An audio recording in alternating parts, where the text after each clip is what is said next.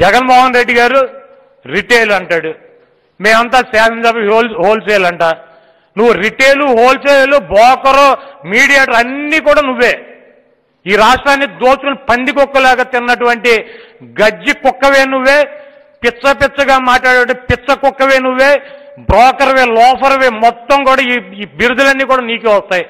పెద్ద వెన్నుపోటుగాడివి అమరావతి ఉద్యమం మహిళలు చేస్తున్నారంట రైతులు. మొన్న హైదరాబాద్లో పోటీ పెట్టాడు ఈ- పోటుగాడు.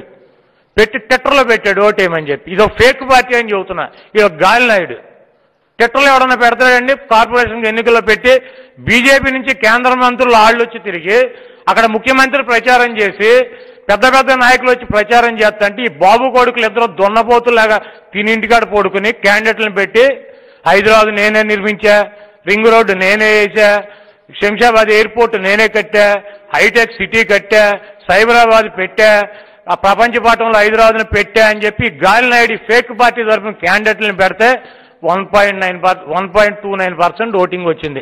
ఈయన అండర్ గ్రౌండ్ డ్రైనేజ్లో పెట్టారు వాళ్ళు. ఈయన ప్రపంచ పాఠంలో పెడితే ఈ గాలినాయుడిని ఇంకా అయినా కూడా సిగ్గులేదు మళ్ళీ వెళ్ళి హైదరాబాద్లో నిలబడి నా ఏమన్నా పేకండి అంటాడు ఇంకేం పీకుతారు?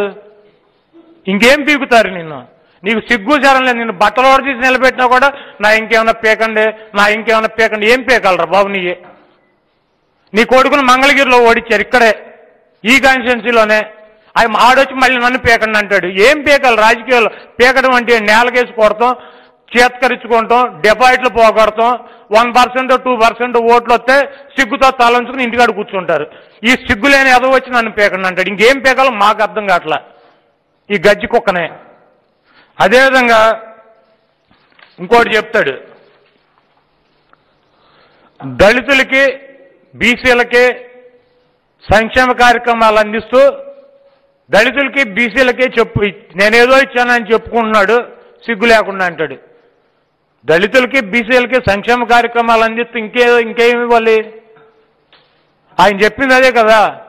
ఎన్నికల మేనిఫెస్టోలో నేను ముఖ్యమంత్రి అయితే బలహీన వర్గాలకి బయట వర్గాలకి ఎస్సీలకి ఎస్టీలకి వీళ్ళందరికీ మైనార్టీలకి ప్రభుత్వం నుంచి అనేక రకాలైనటువంటి సహాయ సహకారాలు అందిస్తాను. వాళ్ళకి సంక్షేమ కార్యక్రమాలు అందిస్తాను. ఈ రాష్ట్ర సంపదలో ఫిఫ్టీ పర్సెంట్ జనాభా ఉన్నటువంటి వారికి ఫిఫ్టీ పర్సెంట్ దామాషలో అంతకన్నా ఎక్కువ ఇస్తాను. కార్పొరేషన్లో కానీ నామినేటెడ్ పదవుల్లో కానీ ఈ ఎస్సీ ఎస్టీ మైనార్టీ బీసీలకి మరి పదవులు ఇస్తాను. మహిళలకు ఫిఫ్టీ పర్సెంట్ ఇస్తానని చెప్తే అదే చేస్తున్నాడు. ఇంకేమి చేయట్లేదని చెబుతాడు. తలకాయ ఏమైనా పని చేస్తుందా? పని చేయట్లేదా? ఈ చంద్రబాబు నాయుడికి ఈ గాలి నాయుడికి. రాజారెడ్డి రాజ్యాంగం అంటాడు మళ్ళీ ఇవాళ కాడ. రాజారెడ్డి గారి గురించి ఎందుకండి మాట్లాడతాం? పోనీ జగన్మోహన్ రెడ్డి గారి గురించి మాట్లాడాడు. పోనీ రాజశేఖర రెడ్డి గారు ముఖ్యమంత్రిగా ఉన్నాడు కాబట్టి రాజశేఖర రెడ్డి గారి గురించి మాట్లాడాడు. రాజారెడ్డి గారు ఎప్పుడన్నా కనీసం వార్డు మెంబర్గానే ఉన్నాడా? ఎప్పుడన్నా రాజకీయాల్లో ఉన్నాడా? ఆయన కొడుకుల్ని పిల్లల్ని చదివించుకుని కొడుకుని డాక్టర్ని చేశాడు. ఆయన హాస్పిటల్ పెట్టి కొడుకుతో వైద్యం చేయించాడు. ఆయనకేం రాజకీయాల సంబంధం? రాజారెడ్డి గారి పేరు ఎందుకు ఎత్తుతాడు ఎదవా రాజారెడ్డి రాజ్యాంగం నువ్వేం నడిపావు? ఖర్జూర్ నాయుడు రాజ్యాంగం నడి- ఖర్జూర్ నాయుడు రాజ్యాంగం నడిపావా? నీ అయ్య ఖర్జూర్ నాయుడు అనే ఖర్జూరకాయలు అమ్ముకునేవాడు? చిత్తూరు బస్ స్టాండ్లో అని చెబుతారు. తిరుపతి బస్ స్టాండ్ అనుకుంటా. ఖర్జూర్ నాయుడు రాజ్యాంగం నడిపావా? లేకపోతే ఖర్జూర్ నాయుడు వాళ్ళ నాన్న నీ తాత కిస్మిస్ నాయుడు చెప్పేవారు? కిస్మిస్ నాయుడు. కిస్మిస్ నాయుడు రాజ్యాంగం నడిపావు నువ్వు? ఈ నువ్వేం రాజ్యాంగం నడిపావు? ఖర్జూర్ నాయుడు రాజ్యాంగం నడిపేవా నడిపావా? కిస్మిస్ నాయుడు రాజ్యాంగం నడిపేవా? లేదా ఆడి తాత లవంగం నాయుడు రాజ్యాంగం నడిపావా? ఏమన్నా రాజ్యాంగం నడిపావు? ఎందుకు రాజారెడ్డి గారు? నీకు సిగ్గుచారం లేదు. యువతలు మేము తిడతామని తెలుసు. ఏదో ఒకటి ఆ నాని వచ్చి చెప్పుతో కొడితే నాకు సింపతి వద్దేమో నాలుగు ఓట్లు వస్తాయేమో ఎవడన్నా వస్తాడేమో అని చూస్తూ ఉంటాడు. సిగ్గుచారం లేదు. ఏం బతుకో కూడా తెలదు. పద్దాక రాజారెడ్డి అండి లోటస్ పండ్ ఇల్లు బెంగళూరు ప్యాలెస్ ఈయనకేంలో పూరి గుడిసెలో ఉన్నాడు. హైదరాబాద్లో కట్టింది ఏంటి? ఊరుకోటి హెరిటేజ్ బిల్డింగులు కట్టాడు. ఎంతెంత బిల్డింగులు కట్టాడు? ఈరోజు అమ్ములు ప్రాజెక్టు తీసుకొచ్చి కోఆపరేటివ్ యాక్ట్ కింద పాలు పోసేటువంటి రైతుల్నే ఓనర్షిప్ ఇచ్చి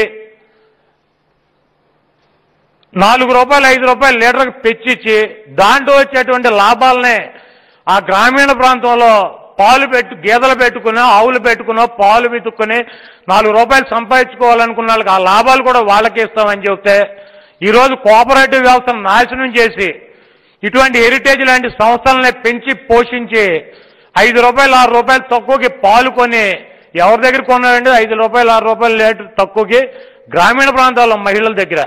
ఒక్కొక్క పాల ఒక గేదె పెట్టుకుని వ్యాపారం చేసుకునే వాళ్ళకి తెలవకుండా సంవత్సరానికి పది నుంచి పదిహేను వేల రూపాయలు దోచేసాడు ఈ దుర్మార్గుడు. ఈరోజు హెరిటేజ్ పదిహేను వేల కోట్ల రూపాయల ఆస్తులు ఉన్నాయి. ఎక్కడ ఇవన్నీ నీ అయ్య ఖర్జూర నాయుడు లేకపోతే నీ అయ్య నీ తాత కిస్మిస్ నాయుడు ఇచ్చాడు నీకు? ఈ గ్రామీణ ప్రాంతంలో ఉన్నటువంటి మహిళల డబ్బు ఒక గేద ఉన్నటువంటి వ్యక్తి దగ్గర పదివేల రూపాయలు తినేసినటువంటి పందికొక్కు ఈ చంద్రబాబు నాయుడు. హెరిటేజ్ అంటే ఏంటి నువ్వు పెట్టింది? రైతుల దగ్గర వ్యవసాయం చేసుకునేటువంటి వ్యవసాయ ఉత్పత్తులు పాల ఉత్పత్తుల్ని తక్కువ రేటు కొని నీవి హోల్సేల్గా రిటైల్గా అమ్ముకునేటువంటి షాపులు పెట్టుకున్న హెరిటేజ్లో ఈ రాష్ట్రాన్ని లూటీ చేసినటువంటి వ్యక్తివి నువ్వు.